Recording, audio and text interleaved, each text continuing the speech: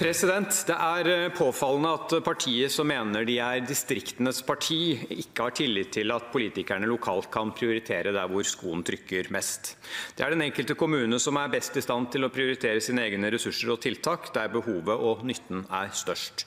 Og det er viktig at kommunene har frihet til å vurdere hvordan de samlede tilbudene til utsatte barn best kan styres og organiseres, om det trengs flere ansatte i barnevernet, eller om innsatsen bør settes inn andre steder.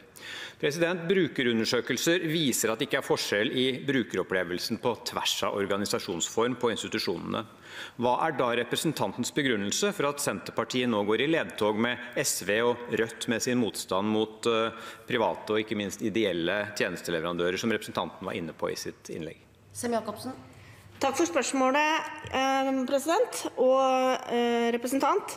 Eh, Senterpartiet har over lengre tid gått i ledtog, som representanten sier det, med de som mener at eh, offentlige oppgaver, særlig som barnevern, bør stort sett være i, eller aller helst bør være i eh, statlig, offentlig regi.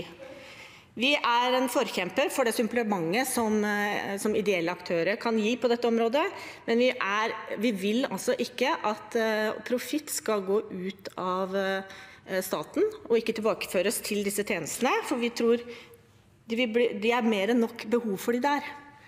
Eh, og det å påstå at eh, Senterpartiet av alle ikke er opptatt av kommunenes selvråderett, det syns jeg også var en artig tilnærming. Så der må jeg bare si meg fullstendig uenig med representanten.